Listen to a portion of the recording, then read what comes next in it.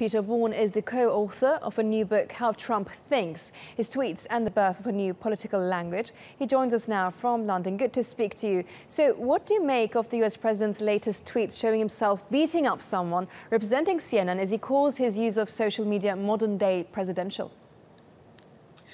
Well, it's characteristic. We have a most unusual uh, president in the White House. He's the most, let's not forget that he's the most powerful man in the Western world, and he has his finger, one presumes, on the nuclear button. But it is what he's been doing before. He's made a series of outrageous uh, statements on media. He's on, on, social media. He's repeatedly attacked CNN, which is quite a reputable uh, television channel, I think, and uh, numerous other channels, well, supporting um, his sort of cronies.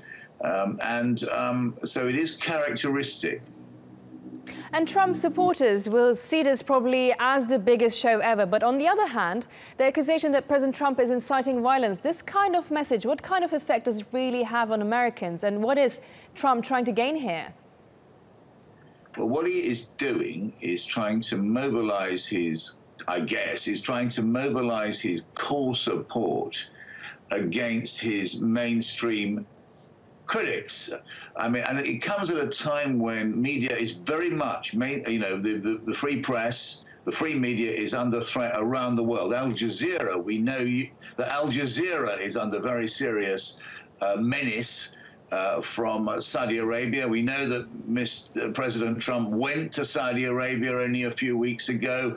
We can see he's now attacking uh, CNN.